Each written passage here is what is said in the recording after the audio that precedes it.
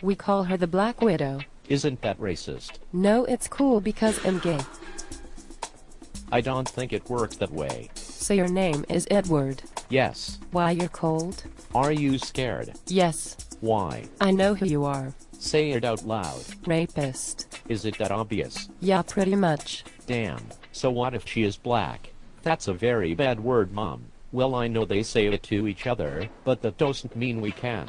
Remember that time where we were in your car and you said you smelled something funny and I said I didn't smell it I did. I farted in your car twice